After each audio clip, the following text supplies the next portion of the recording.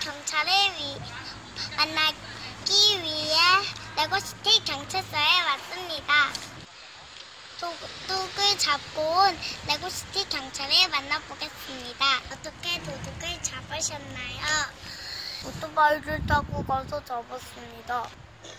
남자 도둑을 잡는 건 어- 어렵지 않았나요? 용기를 내서 잡았어요. 친구들 나쁜 일을 레고시티 경찰이 잡아간답니다. 우리 친구들은 나쁜 일을 하지 않는 착한 어린이가 되세요. Merry Christmas! 지금까지 레고시티 리포터 6살 최